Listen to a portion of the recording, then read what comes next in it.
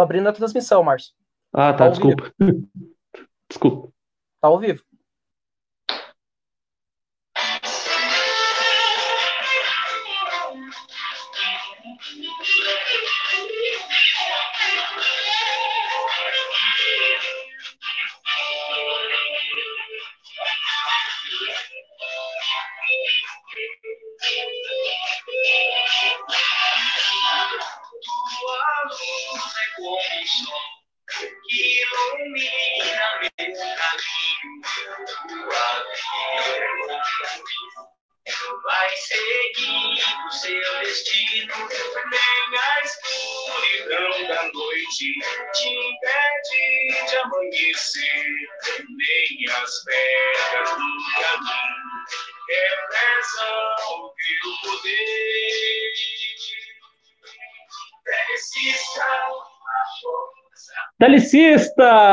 força irradia. Boa tarde, quase boa noite. Tudo bem, pessoal? Mais uma vez aqui o programa Sempre Mais Alto, o segundo programa desta série aí pela, pelas nossas redes sociais, né? Então você consegue acompanhar o programa Sempre Mais Alto aí pelo Facebook do TLC Curitiba, pela página do programa Sempre Mais Alto, lá TLC no rádio, né? Pelo YouTube também, TLC Curitiba, e também pelo Instagram. Então, fique conosco nessa próxima hora. Hoje, um papo super bacana. Como eu já disse, né, o segundo programa desta série de programas aí através das redes sociais. Então, é muito legal poder estar tá, é, transmitindo esse programa para vocês aí, um pouquinho diferente daquele formato que a gente estava acostumado, né? A gente estava acostumado lá pela Rádio Evangelizar, a M1060 ou 1430, ou mesmo pelos aplicativos da rádio, né? E hoje a gente está aqui é, mostrando a nossa carinha para vocês. Antes era só pelo rádio, a gente ficava imaginando as pessoas do programa sempre mais alto, e agora a gente está aqui na, na internet. Então é um prazer enorme estar com vocês. Quero desde já agradecer a companhia de todos. Fiquem conosco, como eu disse, nessa próxima hora, e vai ter um papo hoje super bacana, é, esse tempo de quarentena, como que a gente pode fazer para manter a nossa mente sã em meio a tudo isso que está acontecendo. Eu quero rapidinho, rapidinho dar as boas-vindas para o nosso colega Zé. O Zé, o Zé está aí acompanhando o programa Sempre Mais Alto, né? Ele que vai cuidar das redes sociais. Tudo bem, Zé? Opa, Márcio, tudo bem contigo? Olá, todas as pessoas que estão nos acompanhando o Sempre Mais Alto através das nossas redes sociais. Como o Márcio disse, nesse formato aí adaptado, né, Márcio, para esse momento que a gente está passando aí, mas não significa que a gente não pode trazer o conteúdo do Sempre Mais Alto. Eu estou aqui nas redes sociais. Então, deixe o seu comentário onde você estiver nos assistindo, que eu vou interagir aqui com você, e também deixe as suas perguntas para o nosso tema de hoje, que eu vou estar aqui juntinho com vocês nesse momento. Legal, Zé. Valeu, mais uma vez, estamos junto aí, né? Tocando aí. aí. o programa sempre mais alto. Valeu. É, como eu sempre falo, né? 18 horas 5 minutos, a gente começando o programa sempre mais alto, aqui em Curitiba, de onde tudo começa. É, um dia bastante agradável. Foi uma semana chuvosa por aqui. Ainda está faltando aquela chuva, que a gente quer uma chuva mais abundante, né? Estamos tendo problemas aí de racionamento de água aqui na cidade de Curitiba, região metropolitana, mas a gente teve uma chuvinha aí e tal durante toda a semana. Hoje amanheceu um dia nublado, sol durante todo o dia, deu até um calorzinho gostoso, e agora a temperatura já volta a cair de novo, né? Então, à noite já sabe como que é, tem que preparar o cobertor aí. Vamos lá então para o nosso tema de hoje, no finalzinho da apresentação aí dos nossos convidados, eu também já faço a pergunta para você poder participar do programa Sempre Mais Alto, interagindo com a gente através das redes sociais. Bora lá então. Quarentena e tempo livre. Como manter mente sã? Em João 16:33 tá lá a palavra. Eu disse essas coisas para que em mim vocês tenham paz. Nesses mu nesse mundo vocês terão aflições, Contudo, tenham ânimo, eu venci o mundo. Em Salmos, tá lá. O Senhor é refúgio para os oprimidos, uma torre segura na hora da adversidade. Os que conhecem o teu nome confiam em ti, pois tu, Senhor, jamais abandonas os que te buscam. Olhe para trás e nada mudará. Olhe para frente e nada mudará. Olhe para si e tudo mudará. Esse também é um pensamento zen. Espero que você, aí na sua casa, com a sua família, ou mesmo que você tenha que sair com todos os cuidados, esteja bem. Espero que você esteja se cuidando, levando a sério o isolamento temporário, cuidando de você e daqueles que estão ao seu redor e com quem você está ligado. Ou seja, toda a, a humanidade e todo o universo. Espero também é, que você encontre paz nesses dias turbulentos. Que às vezes a gente fica assim nessa coisa de não sei o que fazer, ou como fazer, ou muito parado, e a gente fica nessa confusão de o que devo fazer. Estamos passando por um período singular de desafios e aprendizagens.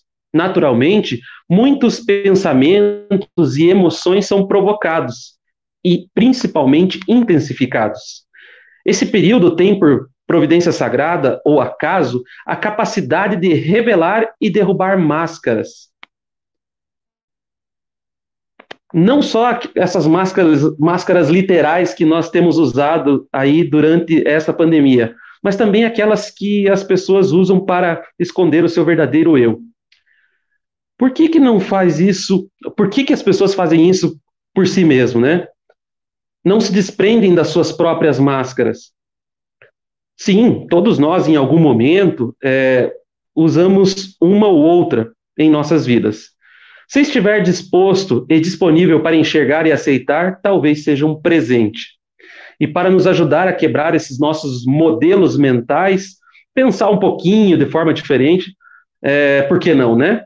Trazer à tona nossas incertezas para tentar enxergá-las não como um peso, mas sim como um presente é, em forma e pensando em formas de evoluir.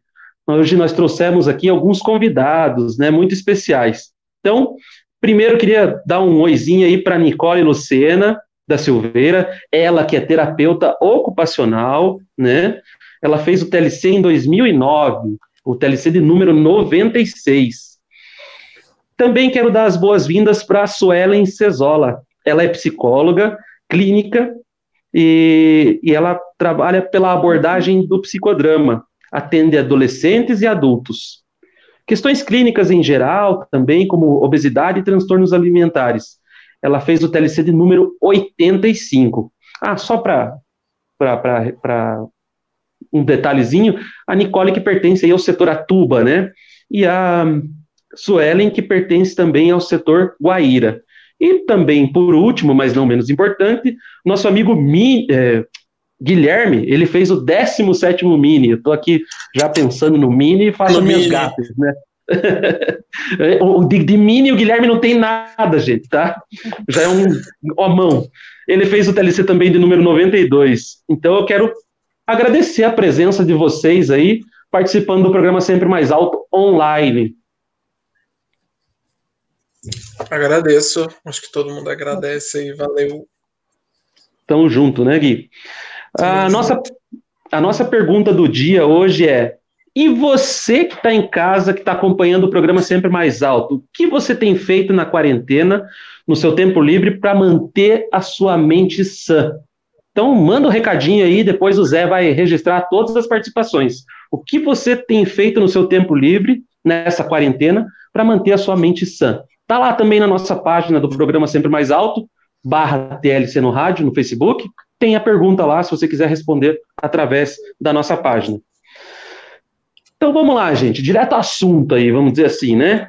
Então, limpar, cuidar, proteger é a realidade da epidemia. A necessidade do isolamento social tem trazido incertezas e angústias. E para ajudar, né, a gente fica o tempo todo nos cobrando. Preciso sair de casa agora, limpar tudo, fazer faxina, organizar minha casa, mostrar o trabalho, ficar próximo da família, ajudar nas aulas dos filhos, é, às vezes com assunto que a gente nem lembra mais, é, mudar de carreira, escrever um livro, fazer exercício. Ufa, quanta coisa. Como é que a gente começa esse papo falando com a galera aí? Meninas, querem começar? Bom, é, quando a gente fala de todas essas atividades, né, e dessa, mudança drástica de cotidiano, assim, eu acho que uma das coisas que é, pegam muito, é, uma colega falou esses dias, e acho que foi uma coisa que me marcou bastante, é do quanto esse momento atual ele nos traz para uma vivência do presente, né? Então a gente teve que dar uma paradinha nos nossos planos futuros, né? A gente tem o hábito muito de sempre pensar na próxima coisa para fazer, o que, que eu vou fazer amanhã. Então, programa hoje com base no amanhã.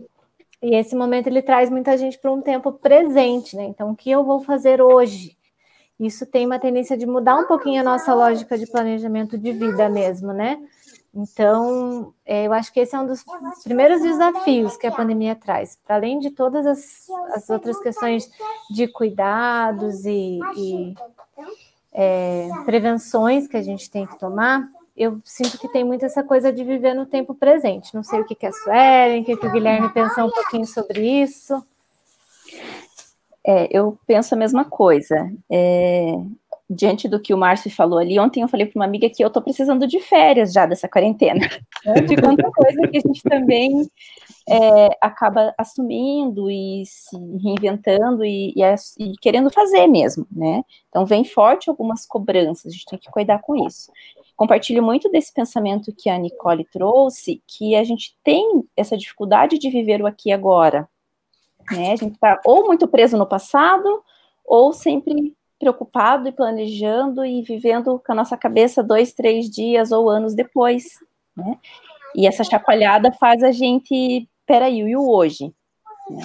Então, viver o hoje não quer dizer que a gente não vá pensar ou planejar o futuro, né? Mas até a gente tem que saber quem é esse eu que vai chegar lá naquele futuro. Isso depende uhum. desse hoje, na verdade. Né? Então, acho super importante isso também. E eu acho e... que, só para concluir, essa questão da angústia que isso gera está muito ligada a essa imprevisão também, né? Porque a gente sempre vai planejando, ah, então dia eu faço isso, em dezembro eu faço aquilo, e agora eu não sei o que eu vou poder fazer, quando que isso vai acontecer. Né? Acho que por Até porque é tão grande. Até porque né, tipo, a gente vivencia, a gente só consegue viver, tipo, pensando em algo, a gente não consegue pensar, tipo, viver, bom, não planejando algo para o futuro, né? Quando isso desloca, quando, tipo, as coisas mudam de fato, as coisas se bagunçam para a gente também. É, vocês estavam falando sobre esse viver aqui ou agora, tipo, que é, há uma necessidade, enfim, mas por vezes a gente encontra, seja na limpeza, seja nos cursos, seja no que a gente faz aí de tão produtivo em excesso, às vezes, na quarentena, como um meio de não querer se ater de fato com a própria aqui e agora, com a realidade, né?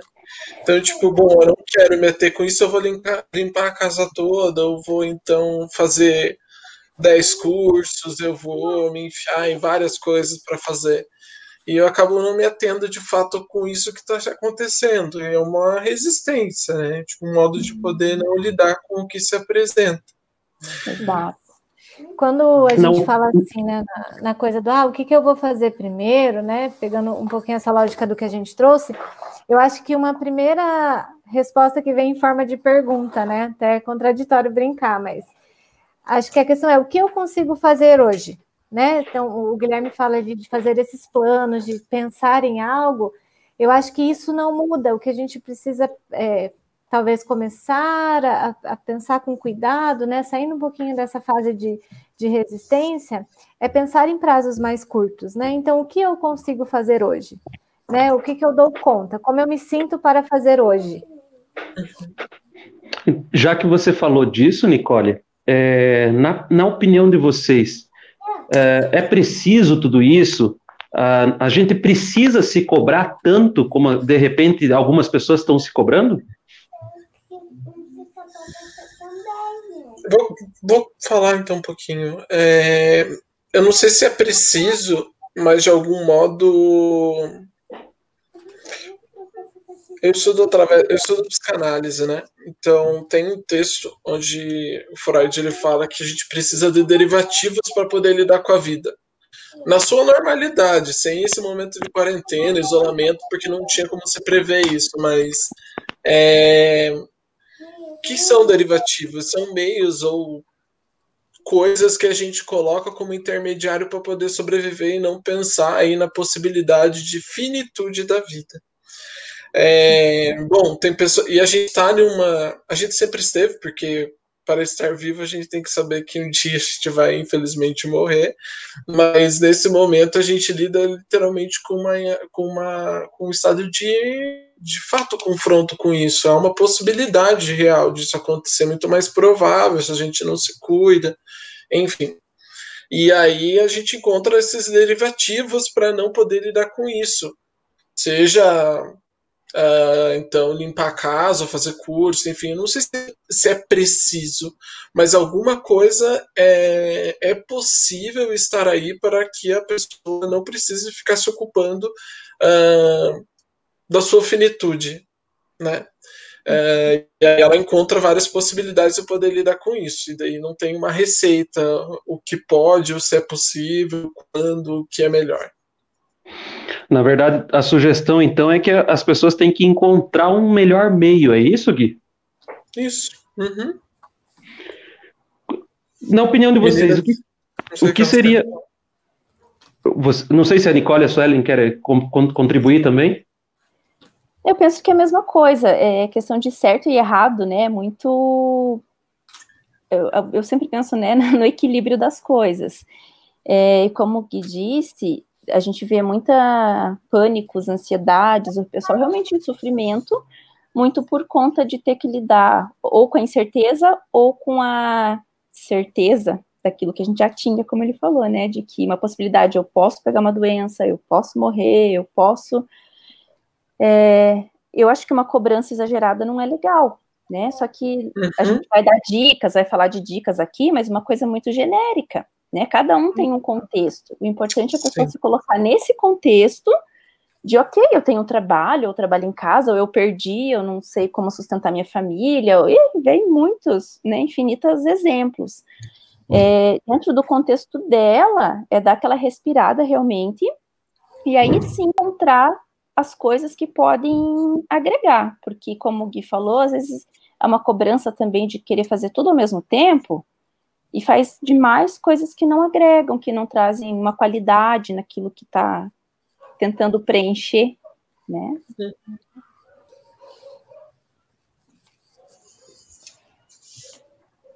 Qual, na opinião de vocês, o que, qual seria o melhor agrado que a gente poderia fazer a nós mesmos nesse momento? É, eu acho que contextualizando, pegando um pouquinho ali do que o Gui e a Suelen comentaram, a gente precisa olhar um pouquinho para o que era um tempo anterior a essa pandemia, né? Então, a gente vem, e cada vez mais isso vem sendo sentido nos serviços de saúde mental, de uma sobrecarga ocupacional das pessoas de modo geral. Então, um acúmulo de papéis, né? Uma hiperexigência no trabalho, uma hiperexigência das questões de lazer. Então, aquilo que deveria ser prazer se tornou mais uma obrigação, né? se torna algo que eu tenho que fazer, não sei para quem, não sei que cobrança é essa que existe, né? Quando a gente fala aí o termo sociedade, é tudo muito amplo. Então, antes mesmo da pandemia começar, a gente já vivia uma crise do que a gente chama de aproveitamento do ócio. Então, a gente não conseguia já manejar o nosso tempo livre antes mesmo dessa pandemia acontecer. Então, se cada um olhar né, e pensar um pouquinho, poxa, que tempo que eu tinha para mim? Que tempo que eu tinha para fazer absolutamente nada? pouquíssimos vão dizer que conseguiam se dar ao luxo, digamos assim, de fazer isso, né? Porque exige uma cobrança muito grande de estar sempre em atividade. Né? E a gente fazia muito uso das nossas casas como espaço de dormitório, não como espaço de vida, de ser, de estar, de se relacionar, né? Então isso trouxe muitas crises. E aí quando a gente fala, né, quando o Márcio pergunta ali um pouquinho, como que a gente pode se agradar diante desse momento de pandemia, eu acho que a gente primeiro precisa responder uma outra pergunta, que seria assim: o que eu gosto de fazer? Então, eu tenho muitas coisas que eu preciso fazer, que eu tenho que fazer, mas o que eu gosto de fazer? Qual é o meu interesse? Acho que a primeira pergunta nasce aí, né? A gente pode dizer, então, Nicole, indo em, de encontro a isso que você acabou de trazer, que talvez a quarentena seja uma pausa para a gente se reconectar com quem a gente realmente é e com os nossos sonhos. A gente pode talvez também aproveitar esse período é, pensando dessa forma? Com certeza. Eu acho que historicamente, vamos pensar um pouquinho aí filosofia, uhum. é, grandes pensadores é, nasceram através da observação de coisas pequenas, né? De pequenos fatos, de pequenas relações. Então, é, muito se tem usado um slogan, eu brinco, né? Agora a gente tem um slogan social da pandemia, que é assim: aproveite para se reinventar. Eu acho que talvez antes de se reinventar, a gente pode dizer assim: aproveite para se conhecer de fato. Né? Então, vamos nos observar, fazer de nós um objeto de observação mesmo, né? Para que isso possa sair de novo dessa fase que, que o Gui fala das resistências e começar a fazer, quem sabe, até um processo de autoharmonia, né? Deixa eu me conhecer, deixa eu entrar em harmonia comigo. Então, antes da gente chegar nessa, muito nessa coisa do fazer, porque nós somos muito fazedores, né? Uhum. Tá sempre no automático, né? Sempre no automático. Então, quando você traz a primeira pergunta, eu vou no mercado primeiro, eu vou lavar louça, o que, que eu vou fazer? Fazer, fazer, fazer, fazer. E aí, isso eu acho que gera essa coisa que a gente falou. Eu tenho que fazer um curso, eu tenho que fazer exercício. Então, sempre vai haver uma pressão para ser um fazedor, né? E talvez agora seja o momento de nos tornarmos pensadores e, quem sabe, até fazedores do nada mesmo, né? Tudo bem não fazer nada às vezes. Uhum. Se você quer falar, eu posso falar. Não, pode falar. Posso falar? É, tem duas questões, assim, que frente a isso que a Nick colocou, que eu acho interessante. É... Freud ele coloca dois pilares para a felicidade. Um deles é o trabalho e outro é o amor. É o amor no sentido da relação com o outro, seja ele qual for. É, então, as relações em si. E é muito engraçado porque, de algum modo, isso que você tem como felicidade, porque então a gente vivenciava num momento anterior de a gente estava a maioria nos seus trabalhos e se relacionando tranquilamente, podendo ver o outro que eu gosto, poder dar um abraço, poder dar um beijo, poder partilhar algo com o outro de modo físico mesmo. E agora a gente vem de uma de um corte mesmo, de uma castração disso que se tinha como felicidade. E aí Freud novamente coloca três pilares para infelicidade do ser humano, que vai ser a natureza, com essas questões naturais, então seus, suas catástrofes, com que ela pode nos incomodar, a própria degradação do corpo, então olhar que está ficando envelhe envelhecendo, a pessoa acaba ficando mal, isso gera angústia, da mesma forma, da mesma forma que olhar a natureza e degradação dela, por vezes causa angústia no sujeito. E outra também é as relações. Bom, mas como as relações de algum modo causam felicidade, mas também causam angústia. Tem um filósofo uh, que o Karnal, acho que Leandro Karnal usa numa, em um livro dele, que é uma, uma metáfora do porco-espinho, que é do mesmo modo, modo que o ser humano se, se, se comporta. De algum modo, longe demais, esses, esses dois por, porcos, ou porcos, enfim, não sei qual o plural de porcos, acho que é porcos, mas acho que está claro. Esses dois animais que têm espinhos longe, eles, eles morrem de frio, mas muito próximo eles acabam se perfurando. Então, é nesse sentido, de fato, que muito próximo a coisa também sempre tem atrito, ela causa insatisfação, mas também muito longe isso gera sofrimento. E aí a gente está num momento de fato de poder olhar para si, porque é um momento que a gente está longe de tudo isso que nos causa felicidade e está se vendo com tudo que nos causa angústia, ao tempo que a gente não quer olhar para isso. Então a gente faz um trabalho de olhar para si. Tanto que no, no, no, meu consultório, acho que também assim como a, a Su e, e a Nicole acabam encontrando no trabalho delas, eu pensei assim, bom, vai começar a pandemia e eu vou ouvir muita pessoa falando sobre o sofrimento de estar, tipo, isolado, de estar sozinho. Isso não se apresentou com grande, assim, frequência. O que se apresentou era, tipo, bom, ai, meu trabalho, ai, a minha questão com os meus pais, ou com o meu parceiro, com a minha parceira. Então, de fato, esse momento de isolamento faz olhar para si, para suas relações, para o que quer e para o que E aí, de fato, isso dá trabalho. E como o sujeito vai lidar com isso é muito peculiar. Uhum. É, ah, ouvindo falar, vem um monte de coisa, né? Na cabeça. É. Mas... É legal, eu, tá, eu tô aqui, tô adorando esse papo, tô adorando. Junta um monte, né, de psicólogo, que é, falando, né, ele é psicanalista, eu sou psicodramatista, e são linhas que saem do mesmo caminho e, e enxergam algumas coisinhas um pouquinho diferentes. Complementam, eu acho, bem legal. E, e para o psicodrama, a gente fala muito, né? Moreno traz muito a ideia de conserva cultural, que acho que cabe super bem nesse momento. Uhum, o que, que é verdade. a nossa linguagem? É a questão do que a gente faz tudo igual, né? Aquela coisa social, é, essa coisa automática. A gente também tem as nossas conservas pessoais, que aí é o automático mesmo, né? Eu repito a minha rotina todo dia, eu tenho o mesmo modo de agir nas minhas relações, isso vai se transformando numa conserva. É, e a conserva, ela, quando a gente está muito dentro dela, ela de alguma forma vai tirando um pouco da nossa espontaneidade, que é o quê? Eu saber é, dar respostas novas às mesmas situações que eu tenho no dia a dia. Ou, em situações novas, eu ter respostas adequadas. E, de repente, eu, essa, foi uma bagunça nessa conserva. Né? Porque, inclusive, ela é importante também. Ela que é, como o, o falou, ela mantém a nossa mente sã, né? Não é uma coisa ruim necessariamente. É ruim se ela está muito, muito conservada.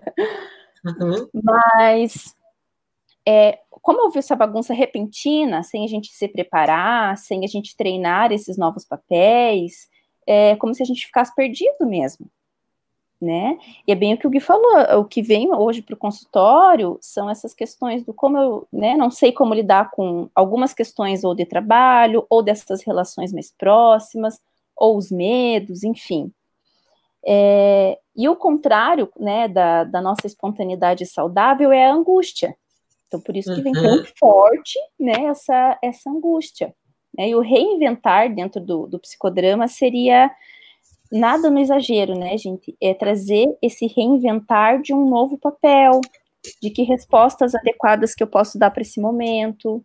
É, e eu penso que essas respostas adequadas, essas respostas novas, não é nem cobrança demais e nem se aproveitar do momento também para justificar aquilo que eu já não fazia. Então, e trazendo esse, de alguma forma, esse equilíbrio, né? A gente pode dizer, então, que esse pe período de reclusão, de quarentena, é uma oportunidade para o novo, então, de, diante de tudo isso que vocês estão trazendo aqui agora? Eu penso que sim. Sim. Para o novo e para o velho. É, isso que eu falar. Talvez ele não fosse tão novo para a gente, tenha sido novo porque a gente não se, se ateve isso, né? Mas uhum. sempre esteve ali por vezes. Talvez é um novo modo de poder olhar para isso que já estava ali. Isso é possível. De repente tava meio desapercebido, tava meio do ladinho ali e deu um estalo, ó, presta atenção. Eu é. acho que, que uma definição que eu vi muito legal sobre essa coisa da pandemia, assim, eu não aguento mais viver domingos. pois é.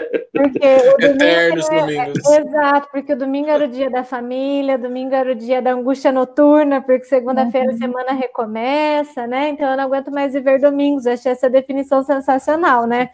Porque fala uhum. dessa coisa da relação e do trabalho. E para a gente, na terapia ocupacional, quando a gente. Eu trabalho com tanto com dependência química quanto com sofrimento psíquico por outros transtornos. É impressionante como o trabalho é organizador da vida, é, né? Uhum. Ele determina o teu horário de acordar, ele determina o período que você vai passar em casa com base no trabalho, né? Então, Seu horário de comer. O horário de comer, o tempo que você vai comer, a uhum. velocidade que você vai comer, né? Então ele tem um papel muito grande.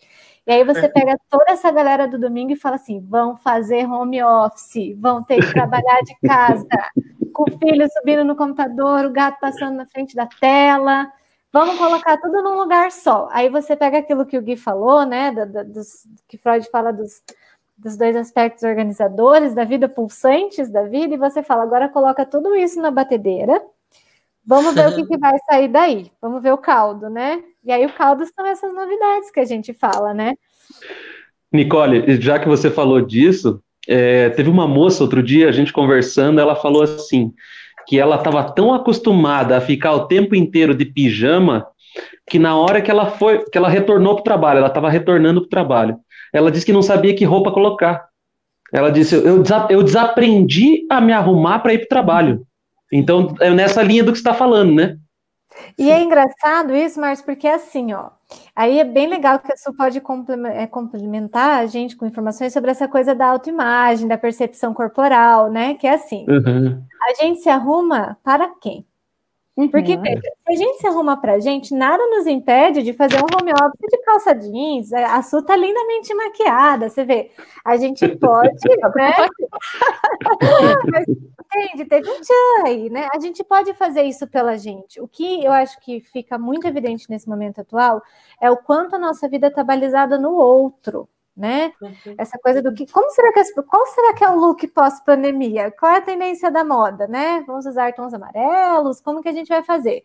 Mas a pergunta é qual que é a tendência na sua casa, né? Então aí a gente tem outra coisa importante que eu acho sensacional ali, que, que eu já conheço um pouquinho do trabalho da Su nesse sentido, que é assim, ó. Quem já tentou pelo menos uma receita nova nessa pandemia? Levante a mão. Já tentamos. A maioria das pessoas que têm vindo por questões ocupacionais, a, a, a pegada da vez é a culinária. Tá todo uhum. mundo voltado para isso, né? Os, os, vídeos dos youtubers que fazem a coisa de comida estão tão bombando e todo dia alguém está testando uma receita diferente. E eu não sei, eu acho muito engraçado. Se você conseguisse falar um pouquinho para a gente, acho que esse era um outro tópico para o programa pandemia e culinária, né? Alimentação. Mas vamos, vamos, trazer alguém para falar especialmente disso. Deixa só eu pedir para vocês. For bem... de mim. Deixa eu só pedir para vocês um intervalinho bem rapidinho. Eu queria chamar o Zé. O Zé vai vir agora, ele vai trazer para nós todas as participações da galera aí, os comentários, enfim. Agora é com o Zé aí. Chega mais, Zé. E aí, Márcio, tudo bem, pessoal? Eu tô aqui acompanhando os recados da galera nas redes sociais. E a Nicole falou esse negócio de fazer receita, né, na, nesse momento de quarentena. Aqui em casa tá mais ou menos assim, viu? A gente tá saindo um pouquinho mais gordo dessa quarentena quando ela acabar, viu, Márcio? É, vai, vai dar trabalho, né, Zé? Vai, vai dar trabalho. Vamos para os nossos comentários aqui nas redes sociais. Você que nos acompanha pelo Facebook do Sempre Mais Alto e também do TLC Curitiba. Estamos todos ligadinhos aqui, tem bastante interação, bastante participação do pessoal. Quero mandar um abraço aqui para o Pajé, que está nos acompanhando também. Ele está na técnica hoje, né? Pajé, abraço para você. O Marcos Henrique disse assim: saudades, família telecista. O Marcos Henrique Dávila. A Fábio está com a gente. Olá, Fábio, tudo bem? A Michele, sempre conosco aí participando conosco aqui do, do nosso, da nossa programação. Um abraço para Michelle, ela que tá lá em Chapecó, disse que está fazendo um pouquinho de frio, hein? Falou que vai mandar uma chuva para a gente aqui. A gente está precisando, né? Estamos precisando de chuva. Muito bem, a mim também disse o seguinte, que nós, né, diante dessa discussão, ela colocou, nós estamos em um momento que nos convida a olhar e viver o presente. Mas acredito com base na minha própria vivência, em algumas trocas que tenho feito com alguns amigos e colegas, de certa forma ainda nos prendemos num futuro que, como o pessoal aí bem colocou, ainda é bastante incerto. Tem também comentário da Priscila Oliveira, que respondendo aí a nossa pergunta do dia, o que, que ela tem feito para ter uma mente sã, ela respondeu que ela está fascinando todos os dias, né? Está ocupando boa parte do tempo dela aí fascinando todos os dias. E ela também colocou uma passagem bíblica que ela gosta muito, que está lá em Mateus, onde diz: Não vos preocupes com o dia de amanhã. Amanhã terá suas próprias preocupações. Então, vivendo um dia de cada vez, ou melhor, na maneira de tentar viver um dia de cada vez, é o recado que a Priscila nos deixa. A Thaís está com a gente, Thaís Lima também, e disse que nesse momento de quarentena, para ela conseguir ter uma mente sã, ela está se dedicando aí a um projeto. Beijo, Thaís, para você. A Juliane Dittmann está com a gente também acompanhando, abraço. O Éder, o Éder falou, ó, cheguei atrasado, mas o que importa é que está presente, né? Éder, ele está tá falando aqui, ó, que quer registrar o orgulho desse programa e mais, orgulho desse movimento, ter gente tão especial, trazendo assuntos tão especiais, comentando aí esse, esse momento que a gente tem, né? Abraço, Éder, para você. Ele deixou uma perguntinha também, mas vou fazer essa perguntinha aqui no final desse nosso momento de comentários, que é para dar o gancho para vocês aí. Beleza? Tem mais pessoas nos acompanhando. Daniel Bueno. Daniel Bueno falou que esse papo de psico aí é coisa de doido, hein? É verdade, mas o pessoal que estudou bastante, né? E vem trazer conteúdo importante para nós. Abraço, Daniel. Ele até falou assim, ó, que a roupa que a gente vai usar vai depender da máscara que a gente estiver usando. Tudo para combinar. É isso aí, né? Tem várias máscaras com temas e modelos diferentes. O pessoal está aproveitando, inclusive, para combinar com o look aí, né? Já que agora tem que sair mesmo utilizando máscaras, né? A Denise Corrádio também aqui do, da equipe do programa Sempre Mais Alto está acompanhando a gente. Beijo, Denise, para você. A Morgana mandando boa noite para nós. Boa noite, Morgana. E a Ju, né? A Ju eu comentei também. Então é isso, pessoal. Continue interagindo aqui na nossa nas nossas redes sociais. Lembrando sempre, nós também temos o nosso canal do YouTube, onde tem, vai ficar disponível esse programa para você assistir novamente. O pessoal que está nos, uh, os nossos queridos psicólogos aí, tem muito recadinho para vocês, hein? Depois dá um pulo aí nos comentários para vocês verem os recados. E eu quero aproveitar e falar aqui, ó, pro Gui, que o plural é porcos, tá, Gui? É porcos. Boa, Zé. Ô, Zé, eu queria dizer para você o seguinte: essa Priscila Oliveira aí eu conheço bem, viu? Essa que tá faxinando todo dia. Tá um brinco é, né? a casa, tá um brinco. Você está ajudando nessa faxina, Márcio? Tô, claro, sempre ajudo, sempre, o ah, tempo inteiro. Então, tá. Márcio, antes de eu passar, antes de eu passar a bola para vocês de novo, tem só uma perguntinha que o Éder colocou aqui, tem um pouco a ver com esse assunto de que a gente pode se permitir e não poder fazer nada também, né? Ele tá, ele colocou pergunta assim, ó, como lidar com a falta de desejo de fazer, né? E nem de se conhecer. Então, uma pergunta que o Éder nos deixa aí para os nossos queridos amigos responderem: como lidar com a falta de desejo de fazer e nem de se conhecer? Valeu, Zé. Um abraço. Muito hein? obrigado. Valeu, gente. E aí, nossos psicólogos aí, o que, que vocês têm a dizer aí para o Éder? Abração, Éder. E aí, Gui, desejos é contigo. tá, vamos lá, eu vou. Não, é que eu fico pensando assim, é... como lidar de fato, né? Eu acho que é uma pergunta que também a gente se faz. É, mas pensando assim, vou partir para a teoria de volta. Mas a gente, a gente, a gente vê o Freud falando luta e melancolia. Tem dois textos que ele usa que dá para se aproveitar para a gente falar sobre. Luta e Melancolia e tem um que é, enfim, frente às, às ideias e questões de morte, o que o sujeito pode falar, né? E muitas vezes ele fala que não pode se dizer nada frente a essas questões.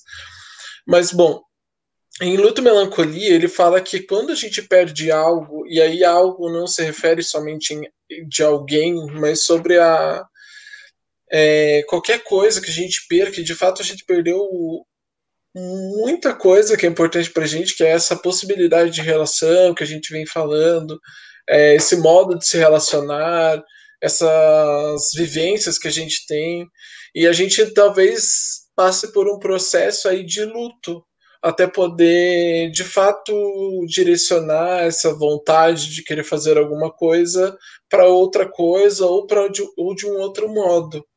É, isso é muito subjetivo, assim, de como cada um vivencia esse luto. Então, de fato, faz sentido. Então, não, eu, não, eu não acho que tem alguma receita, porque até a gente teve que lidar e está tendo que lidar com o luto de, é, sei lá, de, de, de, ter nosso trabalho de outro modo, de usar a máscara, de não poder ver o sorriso de outra pessoa, de, enfim, a gente está todo momento tentando elaborar isso. Então, a vontade de não fazer nada pode ser parte do processo de ter que abandonar algo, de ter que, de fato, vivenciar esse luto que a gente vem vivenciando. Então, acho que é um pouco posso contribuir a isso. Eu penso também que talvez. Aí eu jogo outra pergunta, né? A gente precisa fazer coisas, né? Sim. É, tem que também se questionar um pouco disso. Eu acho que o se conhecer. Primeiro, se a pergunta veio do Éder, eu penso que o Éder já faz muita coisa. Né? Não, fazer, é. não, fazer, muitas coisas agora, seja bom, é. Éder, aproveita. Vamos, vamos analisar o Éder. Puxar o freio do Éder, né? Porque o Éder é um cara que não para, né?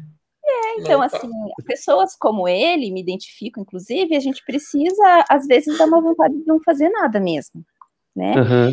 E a questão do se conhecer, eu acho que também vai um pouco nesse caminho, porque se conhecer não é tão legal assim, né, gente? Olhar para uhum. si, é tudo muito bonito que a gente está falando aqui, mas não é o que a gente, claro que a gente recomenda, é, mas o olhar para a gente, a gente também olha para coisas que a gente puxa, isso não, não é tão legal, preciso mudar, ou fatos da, da minha vida, da minha história, que podem me trazer frustração, dor, enfim.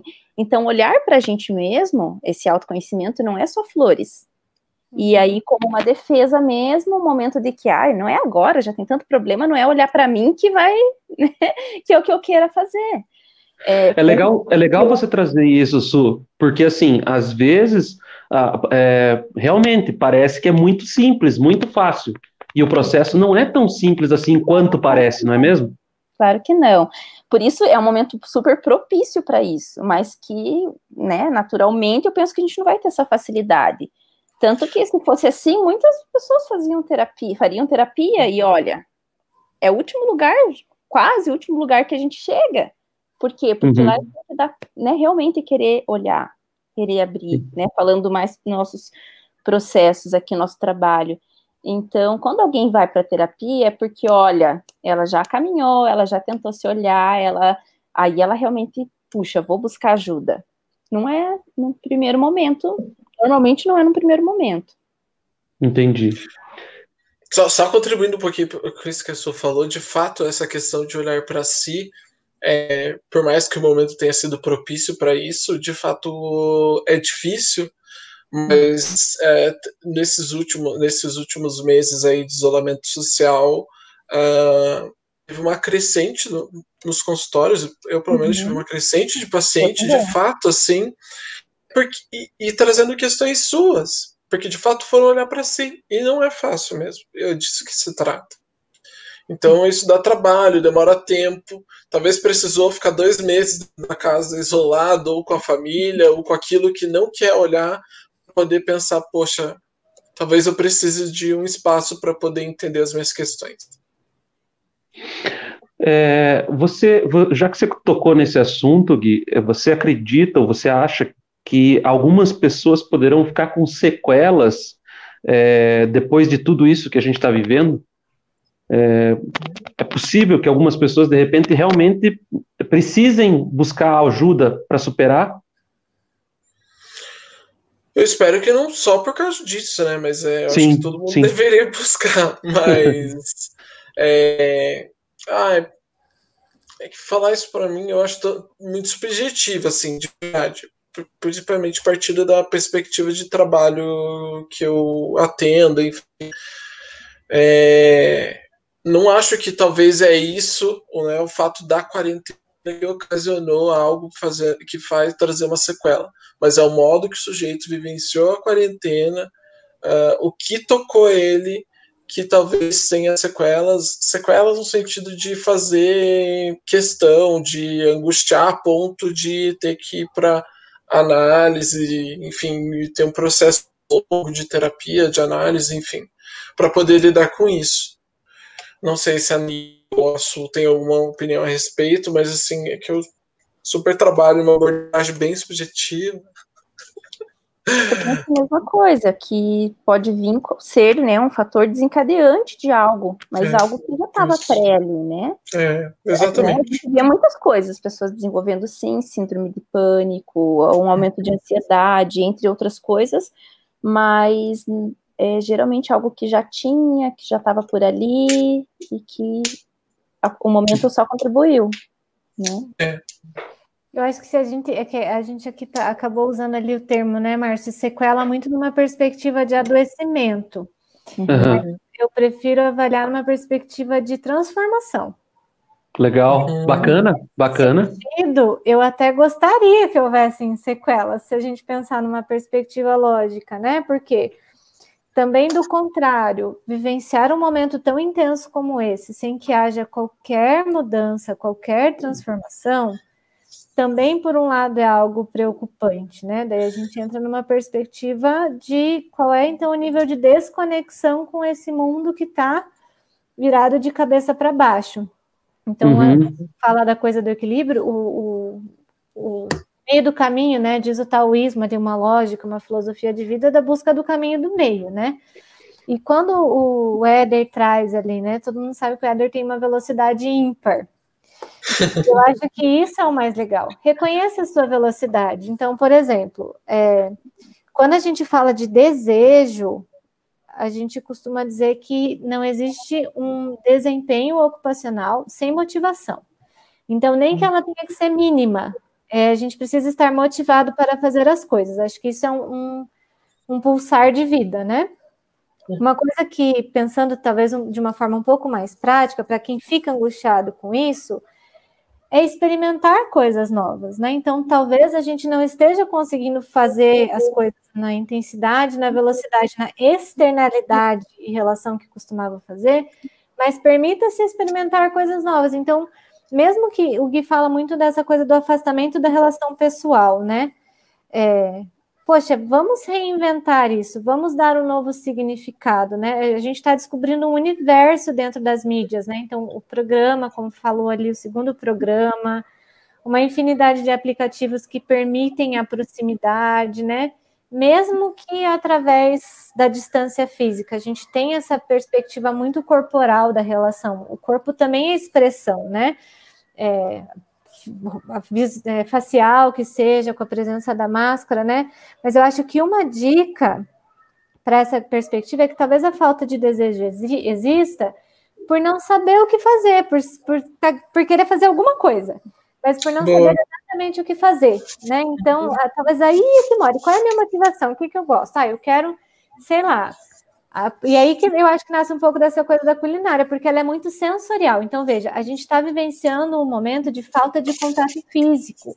As pessoas têm buscado outras alternativas de suporte social é, sensorial. Então, eu preciso sentir algo. Isso. E você tem um aumento dessa busca da alimentação, você tem até ponto preocupante do uso de outras drogas, outras substâncias que são nocivas, porque nós precisamos de um suporte sensorial, né? A gente uhum. precisa sentir alguma coisa fisicamente falando.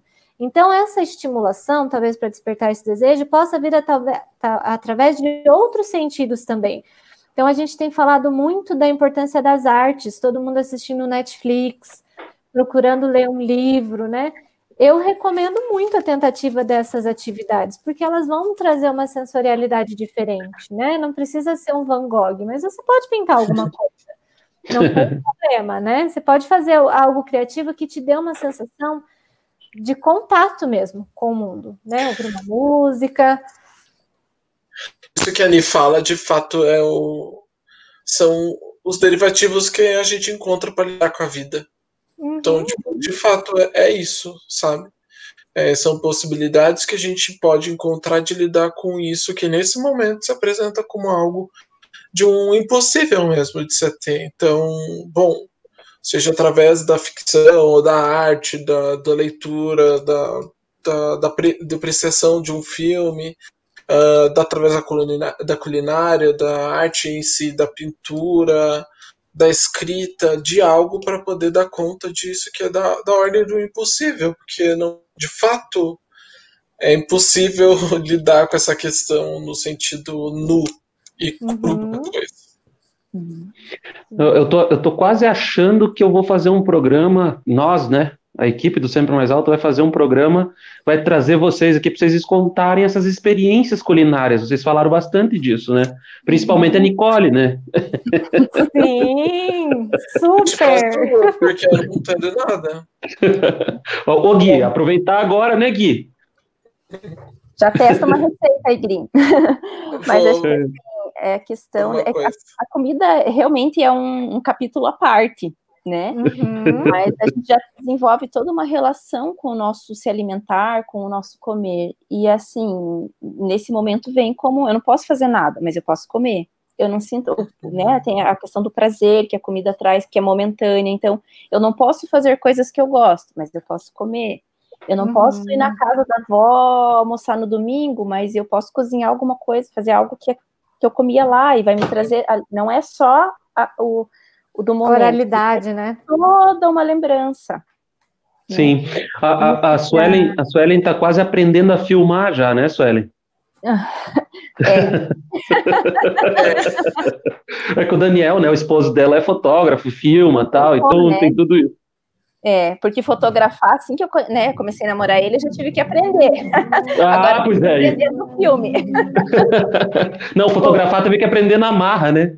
Eu acho que outra, outra coisa bem legal que aparece, pensando no foco dessa lógica das relações e sanidade, né? Vamos entender sanidade como equilíbrio, manutenção da nossa capacidade de gerenciar os nossos sentimentos, os nossos desejos e também obrigações, porque infelizmente, ou felizmente, não sei, a vida não é, é feita só de vontades e prazeres, né? Faz parte. É, eu, eu acho que um ponto super divertido que eu tenho visto e tenho avaliado e analisado, que eu sou bem analítica, é a relação que a gente tem feito com os pets, com os bichinhos, né?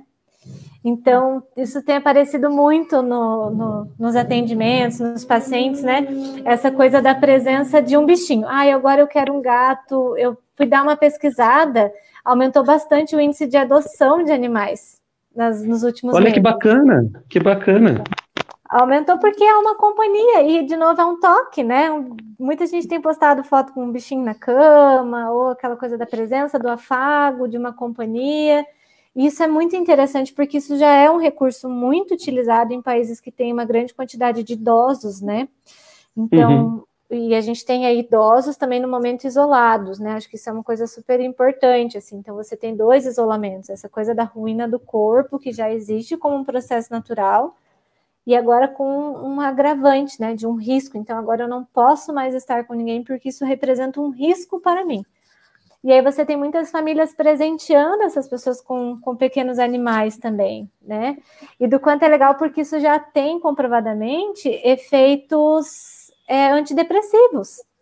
Sim, legal. longo prazo, Bacana. né? Eu acho isso bem, bem divertido da gente observar também. É, Você falou é... sobre essa coisa da presença. Ai, posso Juro que é rapidinho. Pode, pode, vai lá, vai lá, vai lá. É, você falou é com, você, presença, com essa presença e, e, tipo, me veio à cabeça um, uma nota em um caso clínico do Freud, onde ele fala, é uma criança de 5 anos e ela, a tia dele apaga a luz, e aí ele fala, tia, fala comigo, daí ela fala, bom, mas que adianta falar se você não vai estar me vendo? Daí ele fala, bom, mas é, eu te escutando, as coisas ficam claras, no sentido da importância de fato que o outro seja. Pode até ser então um animal nesse momento, mas é, é, é algo, é alguém comigo. Porque sem esse outro a gente fica na escuridão e fica de fato sem saber o que fazer, sem poder ter a possibilidade com o outro. E aí me vem a cabeça de volta puxando para a pergunta anterior que a Nicole trouxe com um aspecto bem interessante sobre sequela, né? Como algo que fica. É, talvez, de algum modo, a gente, com toda a frente essa catástrofe, tem também é, é, respaldo teórico que fala que, frente a uma catástrofe, a gente acaba dando valor a algumas coisas na vida. E eu acho que, de algum modo, a gente já se deu conta que algumas coisas que não eram olhadas uh, na vida, seja a importância do laço com o outro, seja o cuidado com o outro, cuidado consigo, uh, tem uma importância muito grande na nossa vida. Legal. Eu, eu vou interromper vocês. Queria dizer que né, o programa, quando é bacana, quando tem muito conteúdo, passa assim, ó, rapidinho, né? Mas é assim, é, a gente já vai falar um pouquinho mais, né? Dar a oportunidade, a possibilidade aí da gente fazer uma mensagem final para a galera. Mas eu quero uh, só mandar um beijo especial para Gisele, para o Lalo, que estão acompanhando o programa Sempre Mais Alto, lá no litoral, estão lá com toda a família, lá, não sei se conseguiram colocar as crianças quietas em volta do, do celular lá, mas estão lá acompanhando o programa Sempre Mais Alto. Mandar um beijo, a Thaís é, é, registrou a participação dela, ela está lá em Brasília, né? Mandar um beijo especial para ela pro, e para o Anderson, o marido, né? É, fiquem com Deus, estamos aqui com toda a corrente positiva para eles, né? E eu acho que o Zé queria trazer mais umas participaçõezinhas aí, Zé. Como é que é? É isso aí, Márcio. Só passar um feedback aí que o pessoal está dizendo que o programa de hoje está muito bom. Esse assunto rende, hein? Rende vários outros programas, né? A é. Kelma, a Kelma, nossa, nossa querida Kelma aí, chefinha também, né? Ela comentando sobre a perspectiva que a Nicole trouxe sobre conhecer mais, né, buscar mais conhecimento. Ela disse que ela tem aproveitado esse momento para fazer cursos. Isso tem sido uma grande oportunidade para ela, até porque muitos profissionais têm liberado aí cursos de forma gratuita, né? E outros que eram extremamente caros, agora estão um pouco mais acessíveis, então ela está aproveitando esse momento para aprender mais, né? O Daniel Bueno também fez um comentário sobre o assunto que estava sendo discutido em relação a fazer terapia, né? Ele disse que independente de quarentena ou não, todos deveriam fazer terapia, né? O é, João legal. Lopes, Abraço pro Daniel também, né? Abraço, Daniel. E, ó, o João Lopes, ele colocou que, embora o ócio seja algo necessário, precisamos buscar novas ferramentas para lidar com certas situações. O conhecimento pessoal nos leva a fazer algo para nós e para o outro. E já que. Grande, gente... abra... Grande abraço aí para o João Lopes, parceiraço do Jesus Te Chama, lá de Pinhais. Beijo, Legal. querido, no coração, saudades, hein? a Josi está com a gente também acompanhando, e já que volte meio o assunto da culinária volta aí no bate-papo de vocês, né? Ela disse que cozinhar é um ato de amor e estão tentando se conectar aí através é, desse ato, né? E o Fernando Santana comentou que a Ana Poli está se candidatando para fazer a live de culinária, tá? Porque lá em casa oh! é só pão, doce, carne, várias experiências. Inclusive, Inclusive, tem várias pessoas se candidatando para fazer degustação aí dessas receitas que o pessoal está experimentando, hein? Mandar um beijo para essa família também, super especial. Ana, Fernando, beijo carinhoso para vocês, queridos. Ô, ô Márcio, só para encerrar aqui as nossas participações, o pessoal está é. meio que duvidando aí de você nessa história de faxina, viu? a história de Márcio faxineiro aí não, não parece muito verdade, não. Não, é, não deu certo, não deu para dar um migué, né, Zé? É, não deu. É que agora o pessoal tá vendo a gente, né? Antes era só ouvir, é. agora o pessoal tá vendo e eles conseguem perceber. Beleza, meu amigo. Muito obrigado mais uma vez aí pela sua participação, né? Você ajuda a incrementar esse programa. Que isso, eu que agradeço, agradeço todo o pessoal que participou aí, porque sem essas participações, sem essa interação, esse momento não tem, né? Então, muito obrigado uhum. vocês todos aí deixar os comentários. Legal. Então, vou trazer os nossos convidados de volta aí, só para a gente finalizar. É, realmente, vou dizer para vocês assim que é, gente, o programa, quando é bom, né, passa muito rápido. Eu queria só, assim, uma mensagenzinha de vocês para a gente finalizar esse nosso bate-papo aqui. É, 18 horas e 59 minutos, estamos aí estourando o nosso horário, mas queria que vocês deixassem uma mensagem aí para os nossos ouvintes, né? Fiquem à vontade.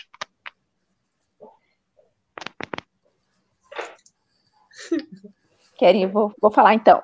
Gente, é, eu acho que assim, é, apesar de a gente falou, né, dessa importância do ócio, acho que a ideia desse bate-papo é talvez aliviar um pouco dessa cobrança, né? é, do ter que fazer demais, né, do a, acabar se colocando muita atividade que acaba não dando conta, né, e criar um outro problema. Mas isso é muito diferente do não fazer nada, né? Então a gente trouxe aí nessa, nesse papo algumas dicas. Façam coisas assim, busquem é, o se conhecer, busquem olhar para o que vocês faziam e nessa renovação de alguma forma, é, aprender uma coisa nova, usar as artes, como a Nicole falou. É, a criatividade ajuda a gente a ter uma desenvolver a nossa espontaneidade e uma série, né, uma, é, de, de coisas que a gente nem precisa falar aqui que está cheio nas redes sociais, né? É, as redes sociais também trazem uma até uma chuva muito grande mesmo de conteúdos que a gente não sabe nem o que fazer, de tanta oferta selecione, né? Busque algo que realmente vai contribuir para o teu desenvolvimento, para o teu entretenimento, para o teu ócio, né? É, eu diria que o menos é mais. Então, busque menos coisas com mais qualidade e que você possa desenvolver essa, trazer essa qualidade para a tua vida, né? Como um preenchimento carinhoso com você mesmo. É, e a nossa espiritualidade também, né? Acho que nós, como cristãos, temos esse diferencial é, até as mensagens que o Márcio leu no, no início, né, o quanto que as nossas crenças, a nossa fé, a nossa oração também podem trazer um pouco do preenchimento, às vezes, né, quando dá uma angústia, é, o nosso vazio, também preencher com aquilo que a gente tem de melhor. Legal, Su, obrigado, viu? É, um abração aí para o Daniel e para as crianças, viu? Obrigada. Gui, Nicole. Bom, é, como, como TO que sou, não tem como dizer assim, né? Dicas para manter-se bem durante a quarentena. É, endosso tudo que a Su pontuou, escreva embaixo, né?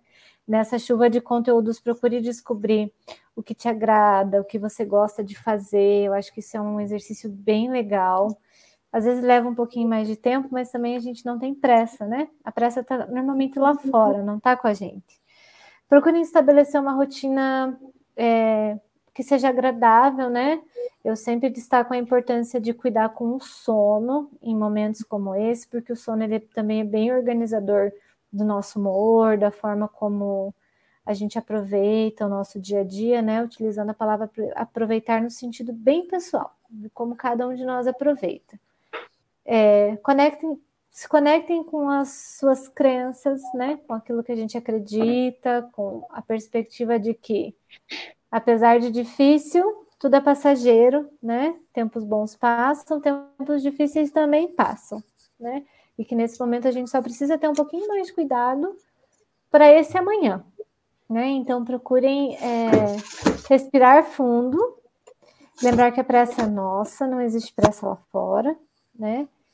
E procurem é, algo que você goste. Então, acho que seria bem legal se daqui a algumas semanas ou na próxima o pessoal puder resgatar se conseguiu identificar alguma coisa que gostou de fazer em casa. Acho que fica aí uma, uma dica, quem sabe até uma tarefa. Legal, Nicole, obrigado, viu? Obrigado mesmo pela sua participação no Sempre Mais Alto. Gui? Oi. é, eu estava tentando achar, tem um, tem um texto, uma parte, um trecho do, do Fernando Pessoa, é, uma nota dele, a nota 283. É, ele fala que a liberdade é a possibilidade do isolamento, né? que na verdade, eu não vou ler porque é uma nota grande, mas na verdade o que ele traz aqui é que, de algum modo, a gente está preso a, de fato, as coisas que estão lá fora. E quando a gente se dá conta que a gente está em isolamento e que a gente está livre, algo dá, nos dá angústia. E aí precisamos sim de alguma coisa, como as meninas pontuaram. Então é, é possível encontrar alguns derivativos, alguns paliativos para lidar com tudo isso mas que isso não seja só um simples véu para isso que de fato é importante olhar, que é para você. Então, se você está angustiado, enfim, e pode encontrar alguma coisa para nesse momento, ok. Mas pense uh, em alguma maneira de poder lidar com essas questões.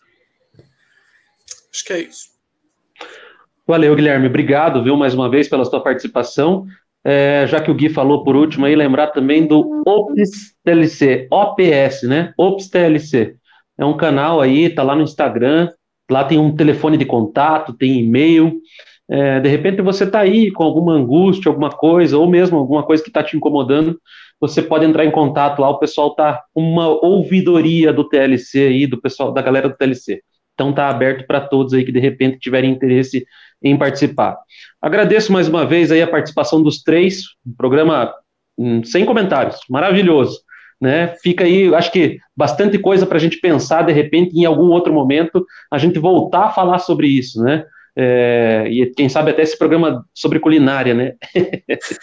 Mas eu agradeço realmente de coração. O programa sempre mais alto de hoje, que teve a produção aí da Denise Corrade, né? Denise Corrade, junto com a Ed, as duas que produziram aí, fizeram o roteiro do nosso programa. Nas redes sociais estava o Zé aí, né, incrementando um pouquinho mais o nosso programa. Parte técnica está lá com o Rodrigo dos Anjos, nosso amigo Pajé, muito obrigado. E eu me despeço por aqui, o Márcio, né, o Márcio do TLC de Colombo aí, finalizando o programa sempre mais alto de hoje. Agradeço a todos pela audiência. Sábado que vem tem mais. Fiquem todos com Deus. Um excelente domingo, uma boa semana e até sábado que vem. Shalom. Bom, tchau, tchau, gente.